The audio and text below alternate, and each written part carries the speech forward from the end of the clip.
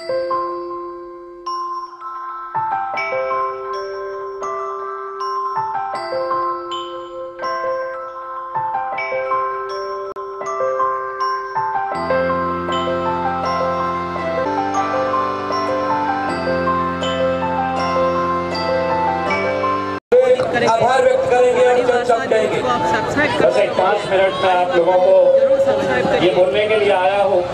कि आखिरी ओवर है बाला साहेब अगर इजाज़त दे तो आखिरी ओवर में 36 रन चाहिए, एक बॉल पे छह छह रन मार के जाना चाहता हूँ।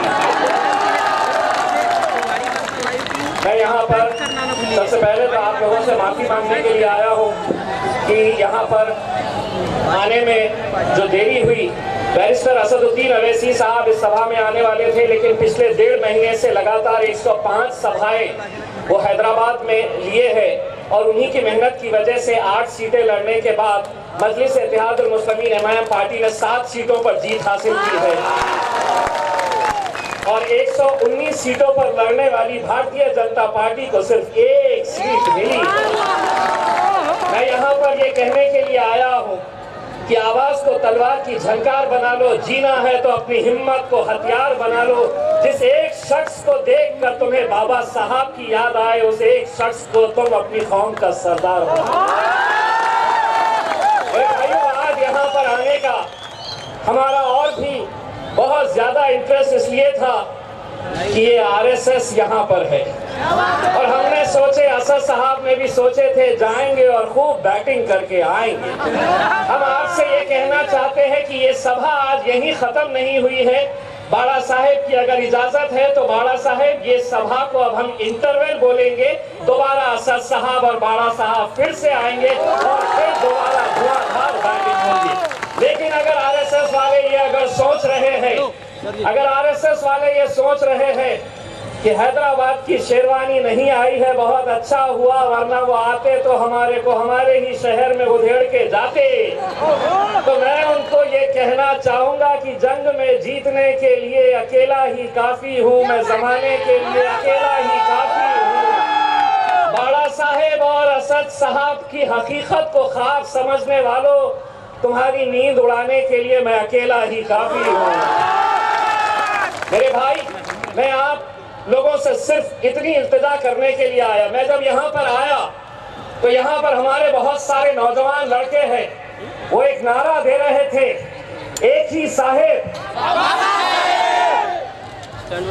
ये नारा जब हम सुनते हैं तो सच्चाई ये है कि हम भी चाहते हैं कि इस पूरे महाराष्ट्र के अंदर अगर दलितों की, बहुजनों की, मुसलमानों की कोई आवाज़ होगी इस महाराष्ट्र के अंदर तो वो सिर्फ़ और सिर्फ़ बाबा साहेब अंबेडकर जी की आवाज़ होगी।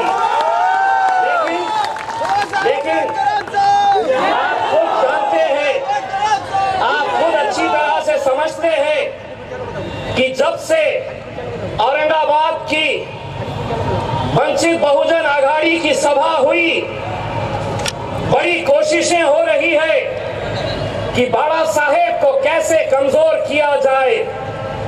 सभी लोग, सभी राजनीतिक पार्टियाँ इस षड्यंत्र में लगी हुई है कि वंचित बहुजन आघाड़ी एमआईएम पार्टी, ये दोनों को कैसे रोका जाए। इनके षड्यंत्र, इनकी साजिशें चल रही है, लेकिन आज नागपुर की इस सरजमीन से हम एक ऐलान करना चाहते हैं 2019 के अंदर सरकार किसकी होंगी किंग कौन होगा और किंग मेकर कौन होगा वो सिर्फ़ और सिर्फ़ बाबा साहेब अंबेडकर जी रहेंगे। लेकिन दोस्तों एक हकीकत भी मैं आप लोगों को बताने के लिए आया हूँ। एक सच्चाई बताने के लिए आप लोगों को आया कर सकते हैं? तो नहीं। हमें बहुत कुछ करने की ज़रूरत है। ये आप लोगों की ज़िम्मेदारी है कि आप लोग अपनी अपनी बस्तियों के अंदर, अपने गलियों में, अपने मोहल्लों में, अपने शहरों में, अपने गाँव किसी और की दूल्हा कोई और बना हुआ और हमारा काम उस बारात के अंदर जाकर नाचने का था। हम सत्तर साल से नाच रहे हैं। अब हमने तय किया है, घोड़ी भी हमारी, दूल्हे भी हम ही बनेंगे।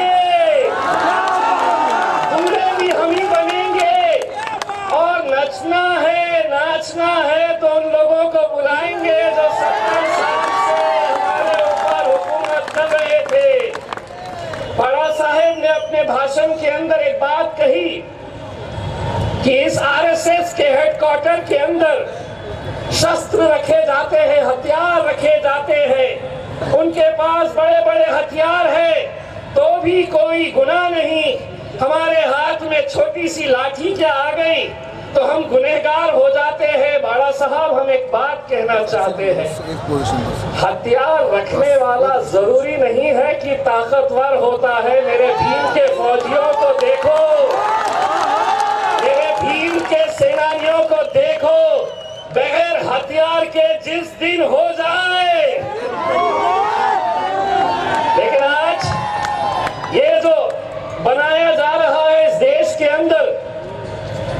इस देश के अंदर एक ऐसी हुकूमत है मोदी साहब की, अगर इनके टारगेट के ऊपर कोई है तो मुसलमानों को परेशान करो, दलितों को परेशान करो। ये सिर्फ़ इनके एजेंडे के ऊपर यही है। और ये चाहते हैं कि हमने उनके भक्तों की तरह बस मोदी मोदी मोदी के गुण गाना और भक्त भी कैसे हैं, आप देखिए।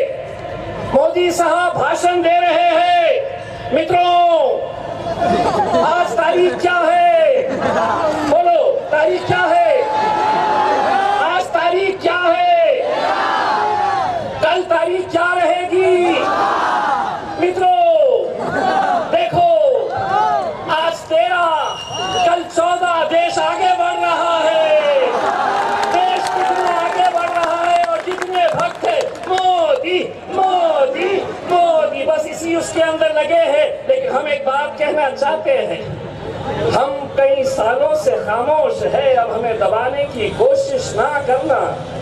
जो बाड़ा साहब अंबेडकर जी ने जो मिशन को अपने हाथ में लिया है, उस मिशन को अगर कहीं दबाने की कोशिश करेंगे तो मोदी साहब, नागपुर की ज़मीन और लाखों की संख्या, लाखों के दलित मुस्लिम बहुजनों की तरफ़ से एक बात हम आपको बोल देते हैं। आप 2014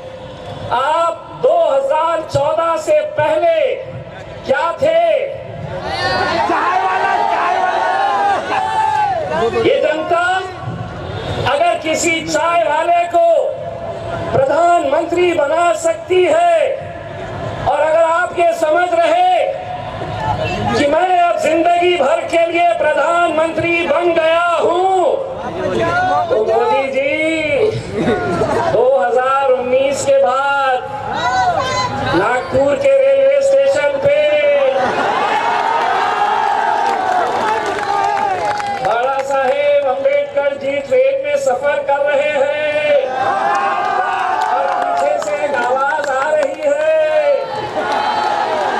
मित्रों, बाला साहेब जैसे ही पलट के देखते हैं चाय चाय चाय चाय चाय चाय ये सरकार कौन चला रहा सिर्फ़ डेढ़ लोग चला रहे। एक मोदी साहब चला रहे एक अमित शाह साहब चला रहे। अमित शाह को मैं आधा गिन रहा हूँ डेढ़ ही लोग चला रहे हैं। अब ये है कि अगर एक चाय वाला प्रधानमंत्री बन जाता है तो उसके जहन में क्या चलता है? तो किसी को नौकरी मिली? बेरोजगारी खत्म हुई? करप्शन खत्म हुआ। तो प्रधानमंत्री क्या बोल रहे? रोज़गार नहीं मिला तो क्या तलो बोल रहे? पकोड़े तलो बोल रहे। पकोड़े तल के अपना रोज़गार करो, एक प्रधानमंत्री, जो चाय वाला है उसकी सोच पकोड़े के हद तक ही रहेगी। अब 2019 के बाद जब सरकार चले जाएगी तो हम रोज़गार देंगे प्रधानमंत्री को इसका। और अमित शाह बोलेंगे, फिर मैं क्या करूँ? तो पकोड़े पकोड़े पकोड़े पकोड़े मेरे भाई, आज इस मुल्क के जो हालात है, आप अच्छी तरह से समझते हैं। और जब तक हम लोग एक ताकत बनकर खड़े नहीं रहते हैं, हमें मालूम है कि जमीनी हकीकत ये है कि बाड़ा साहेब को कमज़ोर करने के लिए कैसी कैसी ताकतें आज पूरी एक साथ मिलकर आ रही है। शिवसेना, भारतीय जनता पार्टी सोच रही है कि अगर कांग्रेस राष्ट्रवादी आ जाए, चलेगा। राष्ट्रवादी और कांग्रेस वाले सोच रहे हैं कि भाजपा जीत जाए, चलेगा। शिवसेना जीत जाए, चलेगा। लेकिन ये चारों के चारों प्रमुख पार्टियाँ ये सोच रहे कि अगर बाबा साहेब अगर एक ताकत बनकर खड़े रहे तो बहुत सारों की दुकानें और धंधे बंद होने वाले हैं। इसीलिए इसीलिए आज साजिशें हो रही है कि बाबा साहब को कैसे कमज़ोर किया जाए अब हमारी और आपकी ज़िम्मेदारी है। दोस्तों ये मुल्क आज एक ऐसे चौराहे के ऊपर आकर खड़ा हो गया है कि जहाँ पर हम अपनी बात करते हैं हम मुसलमानों की बात करते हैं तो हम आपको एक बात बताना चाहते हैं। हम इंसाफ मांग कर हम इंसाफ मांग कर देशद्रोही हो गए। वो खतले आम करके मुख्यमंत्री और प्रधानमंत्री हो गए। हमने अपना हक मांगा तो हम फसादी हो गए। हमने अपना हक मांगा तो हम फसादी हो गए। फिर सरकार की नज़र में ये माओवादी हो गए। हमारी मस्जिद तोड़कर वो अब भी देशभक्त है। हम सिर्फ़ उर्दू बोलकर आतंकवादी हो गए। मेरे भाई, कितने सालों तक, कितने सालों तक हम अपने आप को यूँ ही कोसते रहेंगे। मैं एक बात अपनी सभाओं के अंदर कहता हूँ, अगर सत्तर सालों के अंदर, अगर दलितों की, मुसलमानों की अगर ताकत नहीं तैयार हुई है, अगर हमने अपनी राजनीतिक ताकत नहीं तैयार किए हैं तो एक बात मैं कहना चाहूँगा, सच्ची है, लेकिन कड़वी बात है कि कभी भी दलितों को और मुसलमानों को गैरों ने नहीं हराया है। दलितों को और मुसलमानों को हमेशा दलितों ने ही और मुसलमानों ने ही हराया है। ये सच्चाई है कि हर इलेक्शन के वक्त ऐसे ऐसे नए नए नेता तैयार होंगे, जो मुसलमानों के अंदर, दलितों के अंदर इनका काम यही है कि कैसे समाज को बांटा जाए, इस समाज को तोड़ा जाए, इस समाज को बिखेरा जाए, खरीदा जाए। ताकि आपका वोट जब बढ़ता है, आपका वोट जब बढ़ता है तो सत्ता में कोई और जाकर बैठता है। लेकिन अब हमने एक बात तय कर ली है और आपको भी ये बात तय करना है। अगर बाबा साहब अंबेडकर जी को मानने वाले हैं तो इस सभा में निकलने से पहले ये दृढ़ निश्चय करना वंचित बहुजन आघाड़ी जब से बनी है, मेरे लिए बड़ा साहेब बहुत फ़िक्र है। क्योंकि जो नेता आता है, वो कहता है आता मी चुनाव लड़णार मला तिकीट पाहिजे. लोग आपस में ही एक दूसरे को भावी आमदार बोल के बुलाना शुरू कर दिए। मैं आपको एक बात कहना चाहता हूँ। अगर बाड़ा साहब ने अगर किसी सड़क चलते हुए आदमी से ये कहा कि अब वंचित बहुजन आघाड़ी का टिकट उस सड़क चलते हुए आदमी को दिया जाएगा तो पूरी समाज की ज़िम्मेदारी रहनी चाहिए। कि बाबा साहब अंबेडकर का नारा लगाना और उसके पीछे खड़े रहना। वरना हकीकत यही है कि हम लोग हम लोग टिकटों के नाम के ऊपर, सत्ता हासिल करने के नाम के ऊपर हम लोग बढ़ते हैं। लड़ते हैं और हकीकत में ये होता है कि ना हम लोग पार्लियामेंट तक पहुँच पा रहे, ना असेंबलियों तक पहुँच पा रहे। हमारी ताकत कहाँ है? तो हम इस तरह की सभाएँ ले रहे हैं। लेकिन अब हमने तय किया है कि बैरिस्टर असदुद्दीन अवैसी साहब, हमारे पार्टी के लीडर, पिछले कई सालों से अकेले पार्लियामेंट में हमारी पार्टी की तरफ़ से जाते थे। लेकिन हम आपकी तरफ़ से एक जबान देकर जाना चाहते हैं कि 2019 के अंदर बैरिस्टर असदुद्दीन अवैसी साहब अकेले पार्लियामेंट में नहीं जाएँगे। बड़ा साहेब अंबेडकर जी भी उनके साथ जाएँगे। और बड़ा साहेब की तरह और भी वंचित बहुजन अघाड़ी के बहुत सारे नेता चुन के आ सकते हैं। सिर्फ़ ज़रूरत है तो हमें एक ताकत बनकर खड़े रहने की। मैं आप लोगों से हाथ जोड़कर विनती करने के लिए आया हूँ। कई सालों के बाद एक मौका ऐसा आया है कि जहाँ पर हमें सोचना चाहिए कि अभी नहीं तो कभी नहीं। ये सोचना है एक ऐसा मौका बनकर आया है, खास तौर से मैं उन नौजवानों से अपील करना चाहूँगा। उन नौजवानों को ये कहना चाहूँगा, अक्सर मैं जब बोलने के लिए खड़ा रहता हूँ तो इलेक्शन कमीशन का या पुलिस का एक कैमरा मेरे सामने ऐसा आ जाता है। बोलता कुछ भड़काऊ बोलने वाले है कहीं ये सोचते हैं कि अब मेहमान वाले आए हैं कुछ बोलेंगे। लेकिन